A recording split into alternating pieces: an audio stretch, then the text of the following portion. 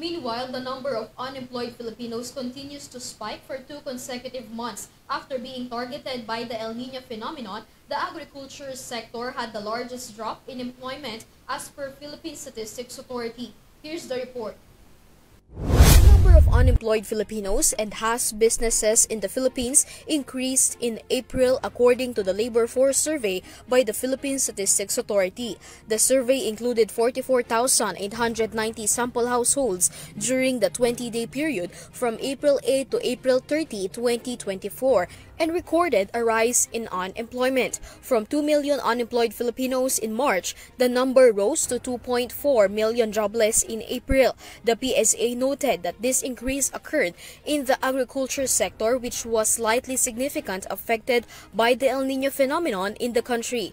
National Statistician and Civil Registrar Undersecretary Claire Dennis Mapa explained that El Nino might have caused this as low production leads to workforce reduction. Bad weather, um, about 100, yeah, about 113,000. But most of this, ano na, uh, nag, nag-participate, no? But these are the the two uh, parang subgroups na positive pa rin. Ibig sabihin, hindi sila nag-participate. Yung mga retired, 170. And then, reason is that bad weather, 113,000.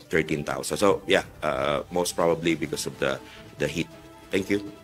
Based on the agency's data, the agriculture and forestry sector experienced the largest employment decrease year on year. In this sector, 818,000 Filipinos lost their jobs. The next sector, wholesale and retail trade, repair of motor vehicles and motorcycle, saw 587,000 people lost their jobs. Meanwhile, the employment rate in the Philippines dropped from 96.1% to 96%. The number of underemployed people or those looking for more hours of work or jobs increased to 7.04 million in March from 5.39 million, meaning that the underemployment rate decreased from 11% to 14.6% on a monthly basis. The underemployment rate increased year as well, rising from 12.9% in April 2023. In spite of this, a rise in full-time employment, 6.1 million and middle-skilled occupations, 1.3 million was reported by the National Economic and Development Authority or NEDA indicating improved job quality. Kita nyo, dito rin tumaas yung increase in employment. No? Pero ganun palagi kasi mataas yung increase natin dito sa subsector.